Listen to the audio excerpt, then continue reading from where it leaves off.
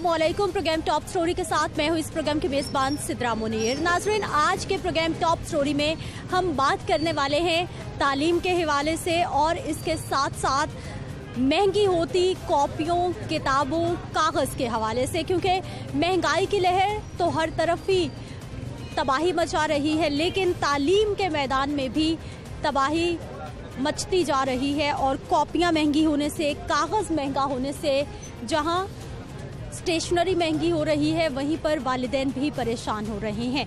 आठवीं तक दरसी कुतब 40 फ़ीसद महँगी होने का इम्कान है, क्योंकि टेक्स्ट बुक बोर्ड की जानब से किताब का जो पेपर है, उसका साइज़ बढ़ाने की मंजूरी दी गई है।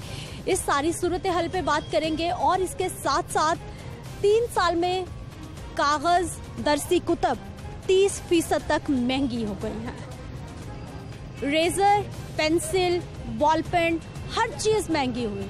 क्योंकि जब आटा, चीनी, दालें महँगी होती हैं, पेट्रोल महँगा होता है तो फिर हर तरफ़ महँगाई का तूफ़ान उठता है और तालीम के मैदान में भी ऐसा ही है। स्कूल्स की जानब से फीसें तो बढ़ाई जा रही हैं, लेकिन उसके साथ साथ स्टेशनरी का महँगा होना, कॉपियों, किताबों का महँगा होना, वालदेन पर कितना बड़ा बोझ है, इस सारी सूरत हाल पर आज के प्रोग्राम में बात करेंगे और इसके साथ साथ मुतलका कारोबारी अफराद से भी बात करेंगे, यूनियन से बात करेंगे, पेपर मर्चेंट्स एसोसिएशन से बात करेंगे, पब्लिशर्स एसोसिएशन से बात करेंगे और उनसे जानेंगे कि इस महँगाई की वजूहत क्या है और इनको कैसे कंट्रोल किया जा सकता है। तो आइए प्रोग्राम का आगाज़ करते हैं। सबसे पहले आवाम से बात करते हैं। नज़र यहाँ पर एक स्टॉल पर हमारी कुछ खातन हैं जो कि ख़रीदारी कर रही हैं।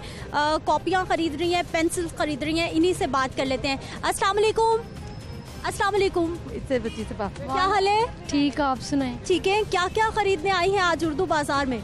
मैं अपनी स्टेशनरी लेने आई हूँ। अच्छा स्टेशनरी में क्या क्या खरीदेंगी? हम्म, जो अच्छा लगा वही। अच्छा इसका मतलब है खासा बजट है कि जो जो पसंद आएगा सब खरीद लेंगे? जी वैसे तो काम की चीज़ें ही ज़्यादा लेनी है। अच्छा मुझे ये बताइए कि ये जो रजिस्टर है कॉपी है किताबें हैं कितनी महँगी हुई हैं कितनी सस्ती हुई हैं? सस्ता तो कुछ भी नहीं हुआ सब महँगा ही हुआ है। अच्छा। जी। आ, कौन से ईयर के स्टूडेंट हो आप? मेडिकल लैब टेक्नोलॉजिस्ट अच्छा जी मेडिकल की स्टडी कर रही हैं। तालीम कितनी आसान रह गई है पेरेंट्स के लिए बच्चों को दिलवाना? बहुत बहुत बहुत मुश्किल हो गई है अब अच्छा। क्योंकि अब तो गवर्नमेंट ही जो है वो ही पता नहीं क्या कर रही है। अच्छा। क्या कर रही है? आपको क्या समझ आ रही है? क्या कर रही है गवर्नमेंट मुझे तो कुछ समझ नहीं आ रही क्योंकि जो बच्चे पढ़ने वाले थे हाँ। उनको उन, इतना डाउन लेवल पे कर दिया है और जो जो नहीं पढ़ने वाले थे उन्हें इतने इतने ज़्यादा नंबर दे दिए हैं। तो इससे किसी गवर्नमेंट यूनिवर्सिटी में तो दाखला लेना बहुत मुश्किल है। और जहाँ तक बात है पढ़ाई की तो यहाँ पढ़ाई करना बहुत मुश्किल है एक मिडिल क्लास लोगों के लिए। तो अच्छा वालदेन पे कितना बोझ आ जाता है जब महँगाई बढ़ती है आए रोज हमें रजिस्टर की ज़रूरत पड़ती है हमें पेंसिल की बात करने को तो छोटी सी बात है लेकिन ये तो हर हफ़्ते की ज़रूरत है। जी। तो महँगाई तो बढ़ती ही जा रही है। इस, इससे माँ बाप पे जो बोझ है वो और ज़्यादा बढ़ता जा रहा है। हाँ। माँ बाप की जिम्मेदारियाँ बढ़ती जा रही हैं मुश्किल वक्त ही आ रहा है। हुकूमत आसान तो कुछ भी नहीं कर रही। ठीक है जी। आप लग रहा है कोई महँगाई कम हो जाएगी? जी नहीं बेटे अभी तो नहीं लग रहा। अभी तो ऊपर ही जा रही है महँगाई। हाँ जी नहीं नहीं ख़त्म नहीं होगी जब तक ये वज़ीर अजम है इस उस वक्त तक तो नहीं ख़त्म होगी। ये तो तब्दीली लाने के लिए आई है हुकूमत। ये तब्दीली वाकई तब्दीली हो गई है। इंसान तो बहुत ज़्यादा जो है ना पीछे चला गया हाँ। जी बहुत मुश्किल में जान है। क्या हाल है भाई साहब? लगा ठीक है। पेपर कितना महँगा कर दिया आपने? पेपर पहले जो तकरीबन ऐसे एक डेढ़ माह पहले सौ एक सौ बीस रुपये किलो था अभी एक सौ पचास रुपये पहुँच गया हुआ एक दो दिन तक ये एक सौ साठ एक सौ सत्तर रुपये की आवाज़ आ रही है। इसलिए अब देखें क्या बनता है। हुकूमत से चाहिए थोड़ा सा कंट्रोल करें महँगाई पे ताकि गरीब आवाम जो है उसको थोड़ा सा सुकून सांस ले सके। दो टाइम की रोटी खा सके बस। लोग आके आपके साथ लड़ते नहीं है कि पिछली बार 130 का था अब 170 का? बहुत ज़्यादा बहस करते हैं लेकिन क्या करें हम भी मजबूर है कस्टमर मजबूर है।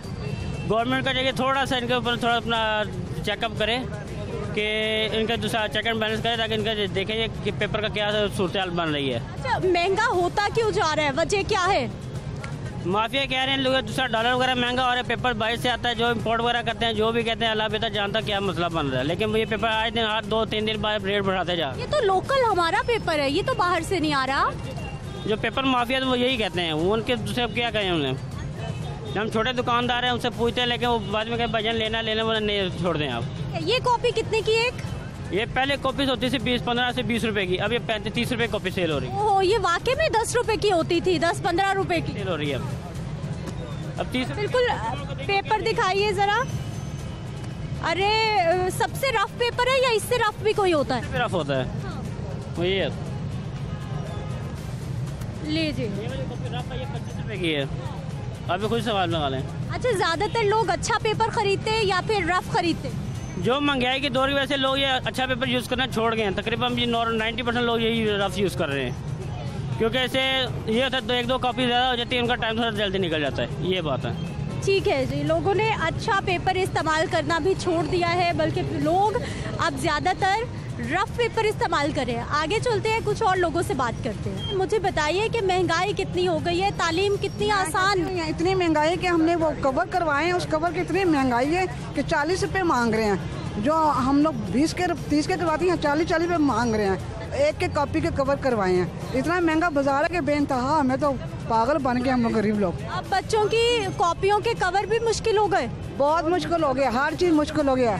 हर चीज़ मुश्किल हो गई मैडम। कि कोई पेन भी लो वो भी इतना महँगा कापी लो वो इतनी महँगी खाने पीने की चीज़ लो वो इतनी महँगी है कि बेनतहा यहाँ बिल्कुल पागल हो जाता है सब बाज़ार में आके। वालिदेन फिर कैसे ये सारा बोझ उठा रहे हैं बच्चों की तालीम का? तालीम का? बच्चे स्कूल से स्कूल से हटे में दो साल हो गए कोरोना की वजह से पहले स्कूल बंद फिर महँगाई इतनी के बच्चे पढ़ा नहीं सकते हम लोग। आपके बच्चे स्कूल नहीं जा रहे? नहीं जा रहे।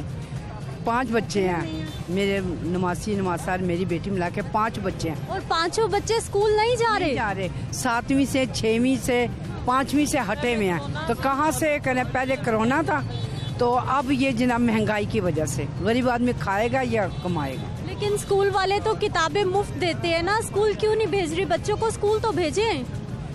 तो किताबें मुफ़्त है ना। यूनिफॉर्म तो चाहिए किराया तो चाहिए जाने आने का बेटा। ये तो चाहिए ना। कमाई इतनी है नहीं जितने वो हर चीज़ तो महँगी है। आप देख लें दाल आटा कहाँ पे गया घी कहाँ पे गया हुआ तो क्या पहले हालात ठीक थे? पहले बहुत अच्छे थे अब उल्ट हो गए जब से ये आया है ना तो मेहरबानी उसने इतनी की हुई कि गरीब आदमी वैसे ही मर जाए तो बेहतर है। तो क्या करेगा गरीब आदमी? अस्सलाम वालेकुम। वालेकुम सलाम। क्या हाल है भाई साहब? ठीक है? ये कॉपियाँ किताबें इतनी महँगी क्यों कर दी आपने? ਇਹ ਤੇ ਗਵਰਨਮੈਂਟ ਨੂੰ ਪੁੱਛੋ ਨਾ ਉਹਨਾਂ ਨੇ ਕਿਉਂ ਕੀਤੀ ਬੱਤੀ ਦੇਖੋ ਕਿੰਨੀ ਮਹਿੰਗੀ ਅੱਜ ਕੱਲ ਇਹ ਪੇਪਰ ਇੰਨਾ ਕੁ ਮਹਿੰਗਾ ਹੋ ਰਿਹਾ ਕੋਈ ਬੱਚਾ ਲੈਂਦਾ ਹੀ ਨਹੀਂ ਪਿਆ ਜਲਦੀ ਕਿਤੇ ਕੋਈ ਕਾਪੀਆਂ ਕੋਈ ਚੀਰਾਂ ਜਿੱਥੇ 12 ਕਾਪੀਆਂ ਲੈਂਦਾ ਸੀ ਉਹ ਦੋ ਲੈ ਕੇ ਚਲਾ ਗਿਆ ਬੱਚਿਆਂ ਨੂੰ ਤਾਂ ਸਕੂਲੋਂ ਉਠਾਤਾ ਕਿ ਜਾਓ ਕੰਮ ਕਰਕੇ ਲਿਆਓ ਤੇ ਰੋਟੀ ਖਾਈਏ ਬੱਚਾ ਦੇਖੋ ਨਾ ਮਾਰ ਕੇ ਰੀਤ ਸਨਾਟੇ ਹੋਏ ਐਵੇਂ ਇਹੋ ਜਿਹੇ ਹਾਲਾਤ ਕਰਤੇ ਐਵੇਂ ਉਹਨਾਂ ਨੇ ਕਿ ਤੁਹਾਡੀ ਸੋਚ ਵਿੱਚ ਵੀ ਨਹੀਂ ਆ ਅੱਜ ਕਿ- ਸਬਜ਼ੀਆਂ ਦੇਖੋ ਘਿਓ ਦੇਖੋ ਕਿੰਨੇ ਮਹਿੰਗੇ ਹੋ ਗਏ अन्नी महँगाई का दौर आ गया टैक्स लाते हमें बत्ती देखो कि महँगी है है तो मौसम सर्दियों का दिन है तो अठ हज़ार का बिल आ गया तो सर्दियों की होएगा आप क्या कागज़ खुद बना रहे हैं कोई सनत लगाई हुई है जो आठ हज़ार बिल आ गया आ देखो मैं तुम तो दिखा देना अठ हज़ार का बिल पे है मेरे को दुकान का बत्तियाँ बंद है बालियाँ दो बत्तियाँ तो अठ हज़ार का बिल भेजता अच्छा मुझे बताइए जो सबसे सस्ती वाली कॉपी है कितने की रफ कागज वाली ਇਹ ਹਲਕੀ ਤੋਂ ਹਲਕੀ ਕਾਪੀ ਬੱਚੇ ਨੇ ਕੀ ਪੜਨੀ 30 ਰੁਪਏ ਦੀ ਕਾਪੀ ਲਿਜਾ ਕੇ ओहो हो हो वाकई चंद पेजेस है और इंतहाई रफ कॉपी है और कीमत है तीस रुपए ਕੀ ਬੱਚਾ ਪੜੇਗਾ ਕੀ ਮੁਲਕ ਦੇ ਵਿੱਚ ਸਾਡਾ ਚਲੇਗਾ ਕੁ- ਤਲੀਮ ਦਾ ਪਤਾ ਹੀ ਨਹੀਂ ਹੈ ਉਹਨਾਂ ਲੋਕਾਂ ਨੂੰ ਕਿ ਤਲੀਮ ਕੀ ਹੈ ਕਿ ਬੱਚਿਆਂ ਦਾ ਸੋਚੀਏ ਨਾ ਪਤਾ ਹੀ ਨਹੀਂ ਹੈ अच्छा भाई साहब वजह क्या है इतना कागज क्यों महंगा होता जा ਟੈਕਸ रहा है ਬੜਾ ਲਾਤਾ ਹੈ ਪੇਪਰ ਤੇ ਇਹਨਾਂ पेपर तो टैक्स लाता है तो बस वजह तो महँगा लेकिन ये रफ कागज़ तो अपने घर का है ये तो यही बनता है। दाला सब सब्ज़ियाँ भी साढ़े घर दी जैसे सनत उगदी है वो चार सौ रुपये किलो मटर है। अच्छी वाली कॉपी कितने की? है सत्तर सत्तर रुपये की कॉपी। अब घर में अगर पाँच बच्चे हैं तो पाँच छः सौ की तो एक एक कॉपी आ गई। कॉपी आ गई तो की लैके जाएगा की पढ़ाएगा किताबा हमें पढ़ने वाला लेकिन ये तो घूमन चाहिए सस्ते तो सस्ता करे। ताकि हर बच्चा पढ़े लिखे तो आगे जाके तरक्की याफ्ताब होवे लेकिन पता ही कोई नहीं है अच्छा भाई साहब आपके घर के बच्चे स्कूल जा रहे हैं हाँ जी साढ़े तो जा रहे हैं पढ़ाना पैंदा फिर बच्चों पढ़ाइए ना तो की करें आप अपने घर के लिए अच्छी कॉपी लेके जाते हैं या रफ कागज़ हल्की कापी हल्की देखो छोटे छोटे बच्चे सारा दिन इतने फिरते काम करते हैं ਮੈਂ ਕਹਾਂ ਚੀਜ਼ਾਂ ਸਸਤੀਆਂ ਹੋਣ ਤੇ ਇਹ ਬੱਚੇ ਪੜ੍ਹਨ ਲਿਖਣ ਤੇ ਆਪਣਾ ਮਚ- ਮੁਲਕ ਚੱਲੇ ਲੇਕਿਨ बिल्कुल जी बच्चे पढ़े लिखेंगे तो ही उनका रोशन मुस्तकबिल होगा अस्सलाम वालेकुम क्या हाल है सर वालेकुम सलाम जी ठीक है मुझे बताइए तालीम बच्चों के लिए कितनी आसान रह गई कितनी मुश्किल हो आपको गई भी पता कि कितनी आसान है और कितनी मुश्किल है बहुत ज़्यादा मुश्किल है क्योंकि गवर्नमेंट ने इन पे टैक्स ही बहुत ज़्यादा कागज़ के मिलों पे लगाया हुआ है। और फिर मिलों वाले, अगर वो ये गवर्नमेंट दस रुपये लगाती है तो वो बीस रुपये का वो ज़्यादा बढ़ा देते हैं। तो उस हिसाब से फिर हमने भी उससे जो जिससे कोई लेता है, वो उससे भी बीस रुपये फिर यहाँ आते आते वो सौ रुपये परसेंट तक हो जाता है। तो इस तरह ये गवर्नमेंट को चाहिए, कोई इसको पे कंट्रोल करे, कोई आदमी बैठाए, कोई सिस्टम बनाए, कोई इस तरह का कोई सिलसिला बनाए, जैसे कि वो होना चाहिए, ताकि हर बच्चा कोई किताब ले, कापी ले। अब पहले जो आप आप, आपके सामने ही है, देख ले, कितने गाहक आ रहे हैं, क्या है? काम ही नहीं है। वैसे ही लॉकडाउन की वजह से पहले ही काम सारा खराब हुआ हुआ अब उससे भी ज़्यादा और मज़ीद ख़राब हुआ हुआ पीछे ये हंगामे भी हुए उससे और फ़र्क पड़ा है। लेकिन ये गवर्नमेंट को चाहिए, कोई इसके ऊपर कोई थोड़ा सा नज़र षानी करे कोई बच्चों को अच्छा सर आप कॉपी कागज़ के कारोबार से मुंसलिक है। कितने साल हो गए आपको ये कारोबार कर पैंतीस साल हो गए। तीस पैंतीस साल में हर साल कॉपी कागज़ ऐसे साल नहीं होता था ये ये पहले तीन चार साल हुए हैं जब से ये गवर्नमेंट आई है। हाँ पहले इतना नहीं होता था बढ़ता था। मसला अगर दस रुपये था तो वो बारह रुपये हो गया। अब ये दस रुपये का एकदम ही अस्सी नब्बे रुपये में चला गया। अब आप एक सौ चौंतीस रुपये किलो है कागज़ इस वक्त ये खाली कागज़ खाली कागज़ एक सौ चौंतीस रुपये किलो है। तो ये किस तरह निकलेगा कित, कितने की पड़ेगी कापी क्या हिसाब होगा? आने वाले वक्त में कुछ लग रहा है कि नहीं आने वाले वक्त में ये बात तबाही की तरफ़ हम जा रहे हैं अच्छी खबर सुना दे हमें। नहीं कोई खबर नहीं कोई गवर्नमेंट सुनाएगी तो हम आपको सुनाएँगे ना। गवर्नमेंट ही नहीं सुना रही है आपको तो हम क्या सुनाएँगे? गवर्नमेंट बता रही है कि पूरी दुनिया में महँगाई हुई है इसलिए पाकिस्तान में भी हो रही है। वो तो गवर्नमेंट ये नहीं बता रही पूरी दुनिया में वहाँ फैसिलिटी कितनी देते हैं वो लोगों को। ये नहीं बताती। ये अगर वहाँ पे दो सौ रुपया लीटर बढ़ाते हैं तो वो पीछे सहूलत भी देते हैं। ताकि आदमी सौ रुपया लीटर डलवा ले। आवाम समझदार हो गई है जी और बता रही है कि जिन मुल्कों की हमारी गवर्नमेंट के वजरा बात करते हैं कि वहाँ पे महँगाई हो रही है वहाँ पे लोगों की कुत खरीद भी बढ़ रही है तो उनको महँगाई का उतना फ़र्क नहीं पड़ता उनको फील नहीं होता लेकिन हमारे लोगों के जब कुत खरीद नहीं बढ़ती चीज़ें महँगी होती हैं तो फिर आवाम दुहाइयाँ देती है। मजीद बात करते हैं एक शॉर्ट ब्रेक के बाद।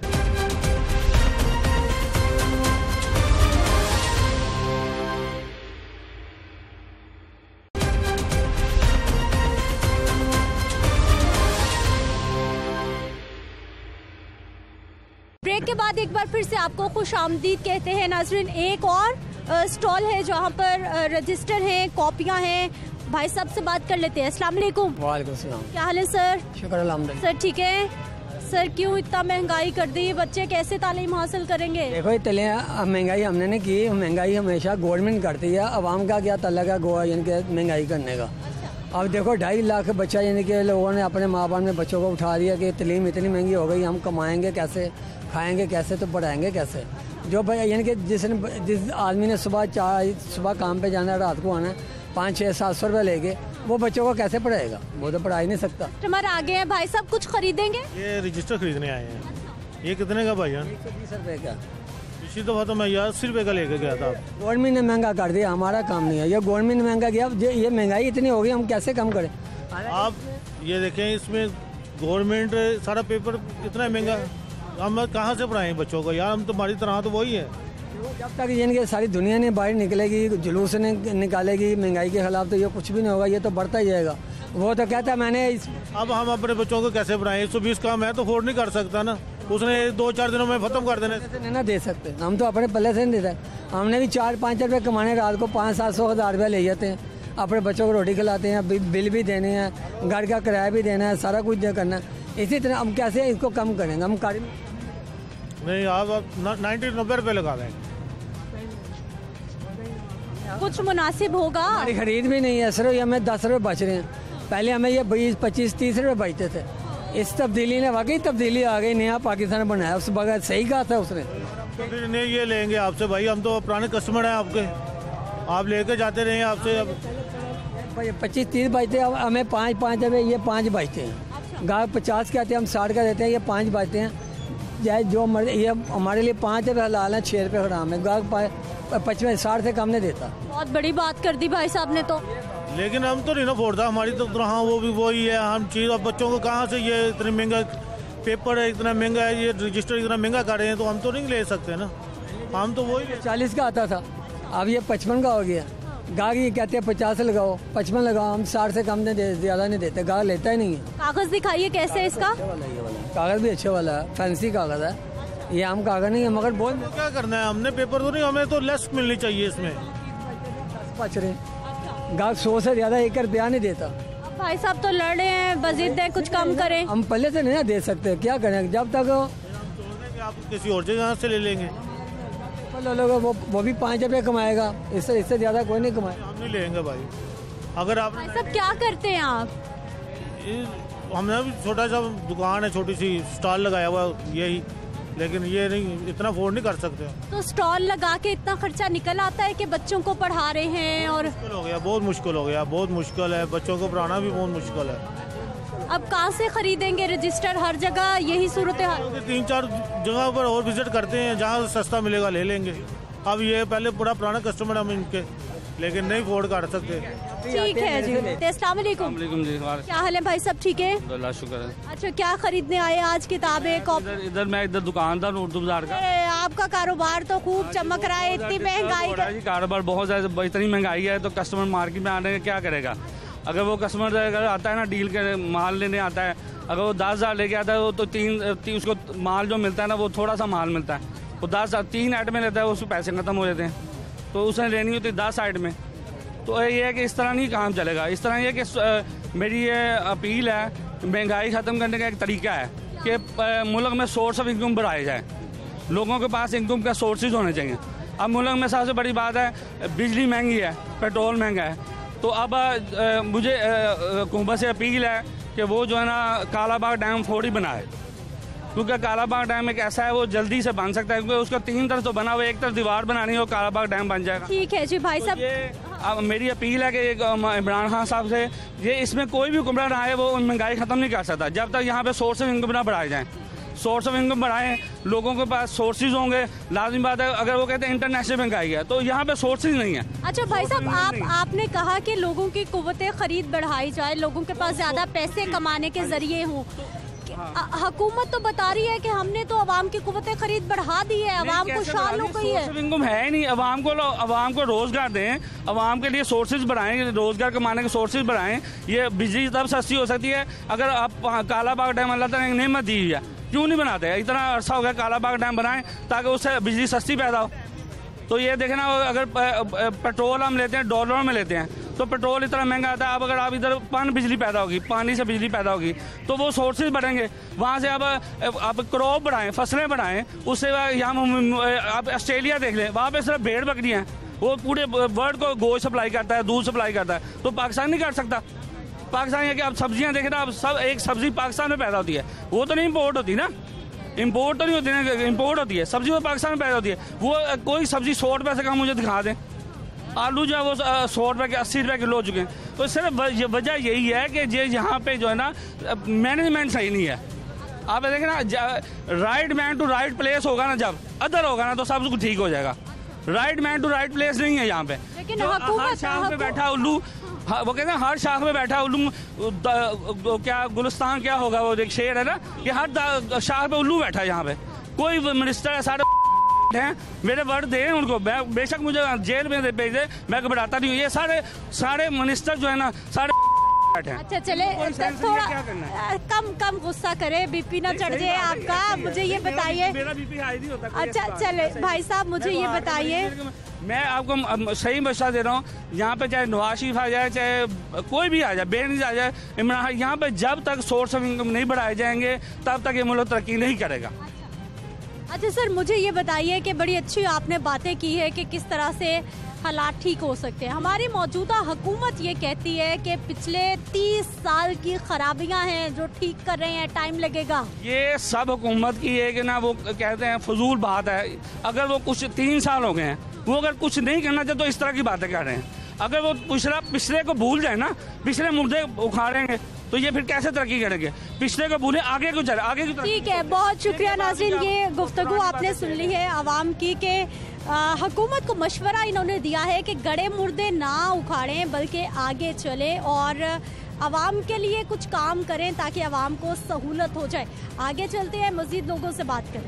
अस्सलाम वालेकुम। क्या हाल है भाई साहब? अल्हम्दुलिल्लाह शुक्र। ठीक है। कैसा चल रहा है काम कारोबार? काम जब से काम कुछ भी नहीं चल रहा भूखे मार रहे हैं। पहले मेरी शॉप थी गली के अंदर मार्केट के अंदर। तो अठारह उन्नीस साल हो गए मुझे यहाँ काम करते। अब मैं ये स्टॉल पे आ गया हूँ। क्योंकि शॉप का किराया नहीं निकलता था, जो हालत इस मुल्क की कर दी है। इस मुल्क में तो जीना ही मुश्किल हो गया है। आप मुझे ये बताएँ, आज तक जितनी भी हुकूमतें आई हैं सबने दावे किए हैं सबने वादे किए हैं।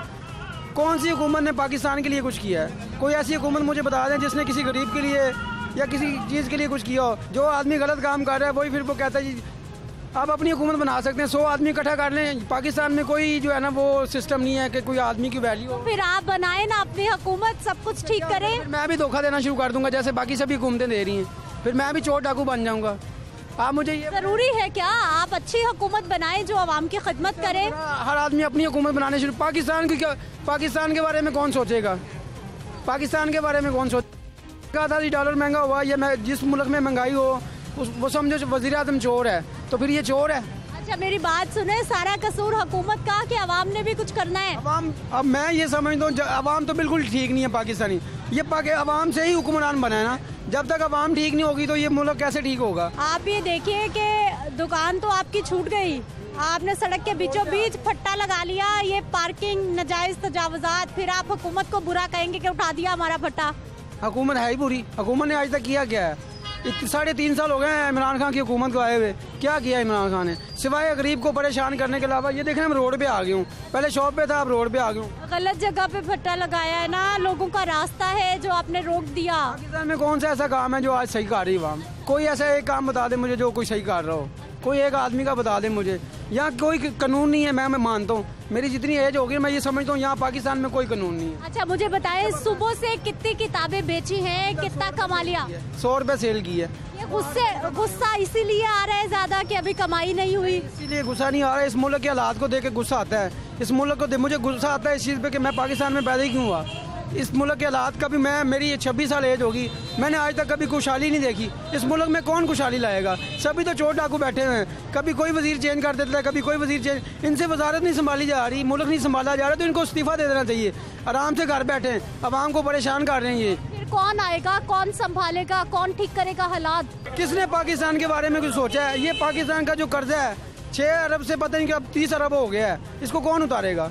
लीजिए ये भाई साहब ना सिर्फ़ मौजूदा हुकूमत से नाराज़ हैं बल्कि जो गुज्ता हुकूमतें गुजर चुकी हैं उनसे भी भाई साहब नाला दिखाई दे रहे हैं। अस्सलाम वालेकुम। वालेकुम सलाम क्या हाल है सर? मैडम। ठीक है? क्या खरीदने आए? मैं बेटे वे पेंशन लेने के लिए आया था अच्छा सर महँगी मिली सस्ती मिली क्या हिसाब अभी मैं देख रहा हूँ मार्केट से। हाँ जी। वैसे महँगाई की क्या सूरत हाल देख रहे हैं? आपको भी पता है हमें भी पता हमसे क्या पूछ रही हैं आप? हाँ जी।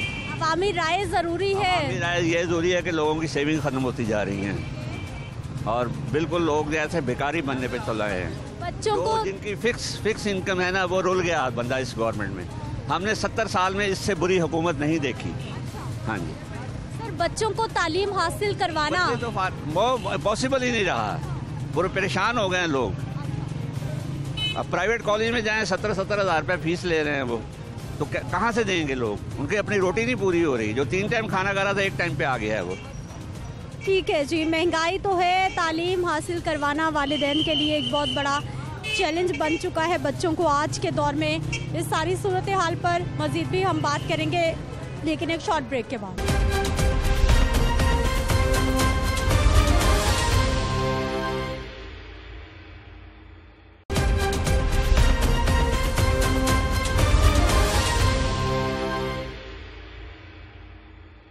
के बाद एक बार फिर से आपको खुश आमदीद कहते हैं। नाजरीन, पेपर महँगा होने पर स्टेशनरी महँगी होने पर, किताबें महँगी होने पर, वालदेन की स्टूडेंट की, बच्चों की परेशानी तो आपने जानी है, लेकिन अब इस महँगाई के पीछे वजूहत क्या है रीज़न क्या है, और आने वाला वक्त क्या खबर लेकर आएगा? इस सारी सूरत हाल पर बात करने के लिए हमारे साथ मौजूद है जी all Pakistan paper merchants association के सीनियर लीडर हैं, खामिद सईद भट्ट साहब सर, बहुत शुक्रिया। आपके वक्त का सबसे पहले तो हमें ये बताइए कि महँगाई का तूफ़ान तो हर वक्त है। लेकिन अब तालीम महँगी होना, पेपर महँगा होना, वालदेन के लिए, बच्चों के लिए कितनी परेशानी बढ़ा रहा है? देखिए जी, हर दौर में ना माफियाज मुख्तलिफ़ हैं जो हुकूमतों को हिलाते हैं और तंग भी करते हैं। लेकिन ये ज़िम्मेदारी है मुतल हुकूमत की कि जो भी उस वक्त बस इकतदार हैं, कि चेक एंड बैलेंस को रखे। और मैंने जो वर्स्ट पोजीशन देखी अपनी लाइफ में इस हुकूमत की देखी है कि चेक एंड बैलेंस है ही कोई नहीं।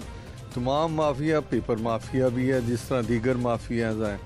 और आ, बड़े अरसा से मैं इसके ख़िलाफ़ लगा हूँ कि लोकल मैन्युफैक्चरर्स जो हैं वो लूट मार करने के लिए इम्पोर्टेड पेपर पे ड्यूटीज़ टैक्सेस लगवाते रहते हैं ताकि बाहर से कोई ऐसी चीज़ ना आए।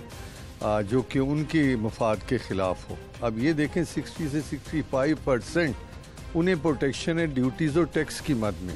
और ये जो यहाँ का पेपर बना रहे हैं, ये सारा रिसाइकल ही है, या तूड़ी से बन रहा है, वर्जन है। कोई ऐसा पेपर नहीं बना रहे कि आप एक्सपोर्ट कर सकें। अगर आज ड्यूटी और टैक्सेस जो हैं, वो ख़त्म हो जाएँ तो इनकी मिलने चलनी बंद हो जाएँगी। अब यही है कि जो इम्पोर्टेड पेपर है, क्योंकि इंटरनेशनल प्रेशर है वो बहुत महँगा हो गया।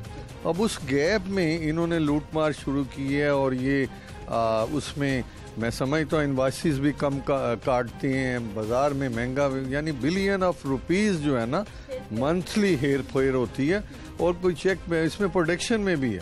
लेकिन मैं समझता हूँ जैसे आपने अभी बात की कि आ, किसी भी मुल्क की जो स्टैंडर्ड ऑफ़ लिविंग और उसका जहनी जो इस्तात है वो बढ़ने के लिए आपको एजुकेशन जो है और उसके इंग्रेडिएंट्स वो आपने आम लोगों तक पहुँचानी है। लोग तो यहाँ खाने पीने को आ, मर रहे हैं उन्हें मिल नहीं रहा। तो तलीम के लिए अपने बच्चों को पेट का अपना काट के तो दे रहे हैं तो अगर ये चीज़ें भी महँगी होंगी तो वो किधर जाएँगे? तलीम का तो जो है मैं समझता हूँ स्टैंडर्ड और गिर जाएगा। इसके लिए पूरा फाल होने चाहिए अदारे और चेक एंड बैलेंस अच्छा सर आपने बताया कि पहले कभी किसी दौरे हुकूमत में इस कदर महँगाई नहीं हुई। इस कदर आपने कहा कि माफिया की मन मर्ज़ी नहीं रही जितनी की इस दौरे हुकूमत में है।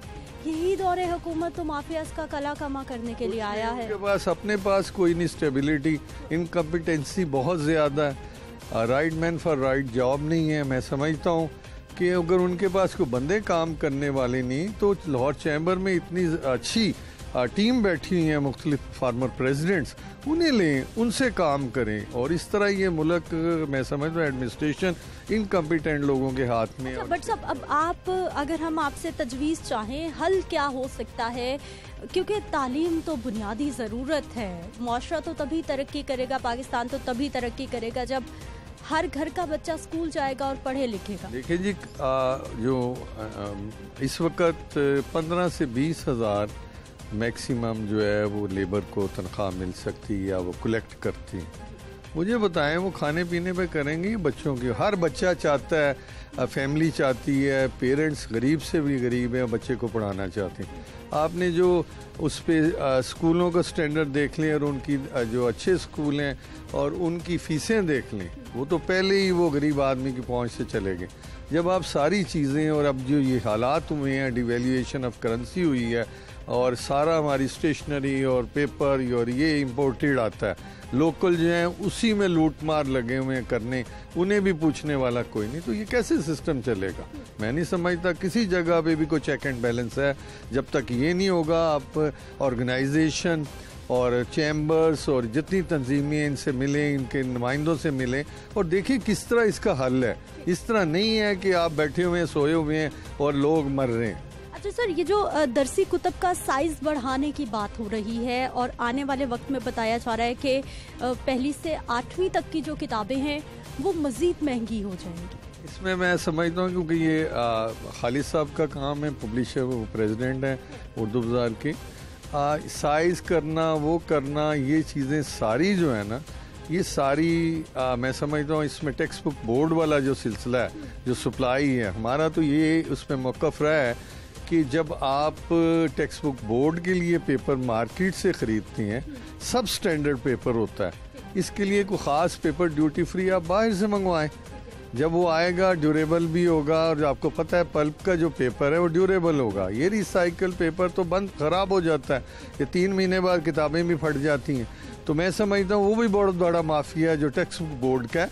उस सिलसिले भी हुकूमत को चाहिए कि इसमें को उसमें करोड़ों, अरबों का घपला है। और उसी दौरान जब शार्टेज क्रिएट होती है तो लोकल मैन्युफैक्चरर्स हल्के से हल्का इंफीरियर क्वालिटी का कागज़ भी वो महँगी कीमत पे बेचते हैं सारे माफिया उसमें अच्छा सर कारोबार कैसा चल रहा है? क्योंकि जब चीज़ें सस्ती होती हैं तो पेरेंट्स बच्चे ज़्यादा ख़रीदते हैं। लेकिन जब वही कॉपी किताब महँगी होती है तो फिर मुश्किल हो जाती है ख़रीदना। कारोबार कितना मुतासर होता है या फिर कोई फ़र्क नहीं पड़ता? कारोबार तो बेहद मुतासर हो रहा है, कि गवर्नमेंट की पॉलिसी कोई नहीं, टैक्स के हवाले से बेतुकी हुआ है, उसके बाद बैंकों के हवाले से बेतुकी पॉलिसी चल रही हैं। और मैं समझता हूँ कि तमाम बिजनेसमैन जो हैं इस वक्त उन्हें ये पता ही नहीं कल क्या हालात होने हैं। अनसर्टनटी पे कोई बिज़नेस नहीं चल सकता। और मैं सब इसके अलावा जो है डिवेल्यूएशन ऑफ़ जो करेंसी हो रही है, उसके हिसाब से देख लें विद इन डेज़ जो है, कीमतें जो हैं, दस से पंद्रह, दस से पंद्रह, दस पंद्रह, इस तरह बढ़ रही हैं। तो मैं नहीं समझता कि सर्टनटी नहीं होगी डिवेल्यूएशन इसी तरह चलती रहेगी तो मैं नहीं समझता को ठीक है, बहुत शुक्रिया व्हाट्सएप प्रोग्राम में शामिल होने के लिए। नाजरन, गुफ्तगु आपने सुनी है कि जो सूरत हाल है, इसमें इन्होंने भी बात की है जी माफियाज की। माफियाज जो कि पेपर बना रहे हैं और मार्केट तक पहुँचा रहे हैं। इस सारी सूरत हाल पे हमने मजीद भी बात करनी है। पब्लिशर्स एसोसिएशन के अहदेदारान क्या कहते हैं? इस सारी सूरत हाल पर या आने वाले वक्त पे आइए, उनसे भी बात करते हैं। नजरन बात करेंगे, हमारे साथ खालिद परवेज साहब मौजूद हैं, जो कि लाहौर चैम्बर के टेक्स्ट बुक कमेटी के कन्वीनियर है। सर प्रोग्राम में आपको खुश आमदीद कहते हैं। खालिद साहब, सबसे पहले तो हमें ये बताइए, ये जो कागज़ महँगा हो रहा है, ये जो कॉपी महँगी हो रही है, ये जो किताब महँगी हो रही है, तालीम का पाकिस्तान में मुस्तबिल क्या देख रहे हैं? कैसे गरीब का बच्चा पढ़ेगा? बिस्मिल्लाहिर्रहमानिर्रहीम। मैं समझता हूँ कि आज गरीब आदमी से कापी और किताब दोनों चीज़ें छीन ली गई हैं, क्योंकि हमारे यहाँ चेक बैलेंस कोई नहीं है। अगर एक सौ रुपये कीमत, एक सौ पाँच रुपये कीमत से एक सौ तीस रुपये कागज़ का रेट हो गया तो ये इसका मतलब ये एक तूफ़ान आ गया। जो पच्चीस रुपये की कापी थी, उसकी कीमत पचास रुपये हो गई। तो ये किस तरह सर्वाइव करेंगे? हुकूमत तो कहती है, यकसा तालीमी निज़ाम, और आधे बच्चों को किताबें देकर और कहते हैं कि हमने जनाब मार का मार दिया लाखों रुपया उसकी एडवर्टाइजमेंट पर लगा दिया, लेकिन ऐसा नहीं है बिल्कुल। और आज वो बच्चे इस मुल्क के शहरी नहीं, वो पाकिस्तान में नहीं रहते। आप चालीस पचास फ़ीसद को किताबें फ्री देकर तो आप ये किताब बच्चे ने साल में एक दफ़ा लेनी है। और ये जो कागज़ लगाया गया है, जिसका रेट आज एक सौ तीस रुपये इसकी ज़िंदगी सिर्फ़ छः माह, पाँच माह है। उसके बाद किताब फटती है बच्चा बाज़ार से खरीदता है। और फिर पचास फ़ीसद बच्चों ने किताब बाज़ार से खरीदनी है। ये मैं समझता हूँ कि बहुत बड़ा एक जुल्म हो रहा है। अच्छा सर तो अब अब कागज़ जो महँगा हुआ है जिसके बाद ये तूफ़ान उठा है इसकी क्या वजह है? कागज़ क्यों महँगा हो गया? मैं समझता हूँ कि ये सिर्फ़ मोनोपली की वजह से चार मिलों की मोनोपली है। और मिली भगत हमारे मिनिस्टर साहब और दूसरे लोगों की है। जो आज अगर हैं, वो कुछ काम करना चाहते हैं तो क्यों नहीं कर रहे? वो चाहें तो सब कुछ हो सकता है। आज जो सपोर्ट किया जा रहा है, गैर मुल्की पब्लिशर को, जो मल्टीनेशनल कंपनियाँ हमारे मुल्क पर, जिनकी हुक्मरानी या निज़ाम उन्हीं का चलता है। ये यकसा तालीमी निज़ाम, ये तो फ्रॉड एक ड्रामा किया है इन्होंने। अब बेसिकली तो उनको आगे करने के लिए किया गया है। वो जो इस इसमें जो पाकिस्तान में रहने वाले हैं, पाकिस्तान में, वो एनओसी ले और जो बाहर से आए हुए हैं, वो बगैर एनओसी के किताबें बड़े इदारों में, उन्हीं की किताबें चल रही है। आज कहीं अक्सर तालीमी निज़ाम नहीं, ऐसा नहीं, सुतेली माँ जैसा सलूक इस पाकिस्तान की कौम के साथ होना चाहिए और कोई पूछने वाला नहीं है। एकदम से अगर पच्चीस रुपए, तीस रुपए की कीमत बढ़ाई जाती है कागज़ की, इसका मतलब ये हुआ, तीस फ़ीसद कीमत बढ़ गई और उससे एक तूफ़ान आ गया महँगाई का। गरीब आदमी की पहुँच से बाहर, पाकिस्तान की तारीख में ऐसा कभी नहीं हुआ। अच्छा खालिद साहब, मुझे सर ये बताइए कि क्योंकि पब्लिशिंग के मैदान में, किताब के मैदान में, तालीम के मैदान में हम बचपन से आपकी किताबें पढ़ते आए हैं, देखते आए हैं। गुज्त दौरे हुकूमत में और मौजूदा दौरे हुकूमत में, क्या तालीम हुक्मरानों की तरजीहत में शामिल थी या हैं? ना कल भी थी, ना आज हैं। दोनों दौरों में इस पर तवज्जो नहीं दी गई, इस पर अपना दिया है। ये देखिए, जो पैसा मिलता है, वो हमें भीख के तौर पर मिलता है कर्जे के तौर पर मिलता है, जो हम एजुकेशन की मत पे लेते हैं, गैर मुल्कियों से, पॉलिसी उनकी चलती है। उन्हीं की पॉलिसी को नाफिज किया जाता है। जिस जिसका मेन सबूत ये है कि हमारे जितने हीरो थे, शोहदा थे किताबों में से निकाल दिए गए। हमारी तहजीब, सकाफत, हमारी इस्लामी जंगें, आज किसी किताब में नहीं है। आप देखें आप, ये बड़ी शर्मनाक बात है। जो मेरी बात को सुन रहे हैं, वो इस पर निकाह दें कि इस पर ये कल्चर देना फिर कहते हैं ये है कि जो पैसे देता पॉलिसी खालिद साहब एक और खबरें ये भी चल रही हैं कि टेक्स्ट बुक बोर्ड ने जो अब किताब आएगी उसके कागज़ का साइज़ बढ़ाने की मंजूरी दी है। उसका फ़ायदा क्या होगा और उसके बाद भी सुनने में आ रहा है कि किताब और महँगी हो जाएगी? देखिए किताब नहीं महँगी होगी। जो लगा रहे हैं, उसके हिसाब से तो महँगी नहीं होगी। अगर दो इंच कागज़ को बढ़ा रहे हैं तो ये अच्छी बात है। वो कोशिश कर रहे हैं उनके मुकाबले पर लाने के लिए। लेकिन असल कोशिश तो ये है, इसको वाइट करें आप। पाकिस्तान की इंडस्ट्री है। हकूमत ले। उसमें सब सब्सिडी दे, कौम को बनाना है। कौम को संवारना है। ये, मैं नाम भी लूँगा उनका। को ले आप। और दूसरी बिल है, उसको ले आप। उनका कागज़ क्यों नहीं इस्तेमाल करते? ये क्या मजबूरी है कि ये कूड़े करकट से बना हुआ तूड़ी से बना हुआ आप इस्तेमाल करके और इसकी म्याद ये दूसरे साल तो दूर की बात है ये छह माह में बच्चा दोबारा लेता है किताब। सर आने वाले दिनों में क्या खबर मिलेगी? कुछ महँगाई का ये तूफ़ान थमेगा? कोई कॉपी कागज़ कोई पेंसिल रबर कुछ सस्ता होगा क्या? आप आने वाले दिन की बात कर रही हैं अभी निकले मेरे साथ चले मैं आपको विज़िट करवाता हूँ। अब भी गरीब आदमी जो 20 से 25 तीस हज़ार रुपये तनख्वाह ले रहा है, वो अपने बच्चे को कापी किताब नहीं लेकर दे रहा। मैं दावे के साथ ये बात कर, कहाँ का ये यकसा निज़ाम की नारे लगा रहे हैं? अरबों रुपया इन्होंने उस पर खर्च कर दिया, उसकी एडवर्टाइजमेंट कामयाब कामयाब, कहाँ कामयाब हुआ? मेरे साथ विज़िट करें। आए बड़े इदारों में मैं दिखाता हूँ कि तमाम मल्टीनेशनल को खुली छुट्टी दे दी है और वो अपनी किताबें राज कर रहे हैं। और चार सौ रुपये की, पाँच सौ रुपये की किताब तो वो जो खरीद सकता है, वो तो खरीद रहा है।